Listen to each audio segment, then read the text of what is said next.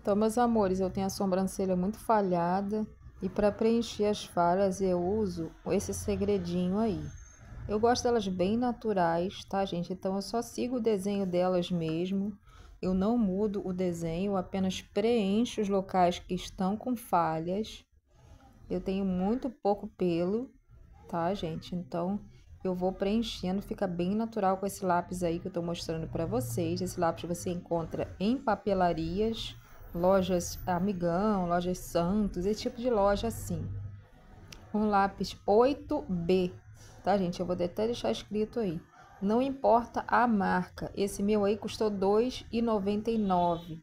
É um exemplo, tá, gente? Estou gravando esse vídeo em 2024, tá? Eu comprei no início do ano de 2024. Fora que até agora eu não apontei ele. Ele tá com a ponta que veio original, ou seja, duradouro.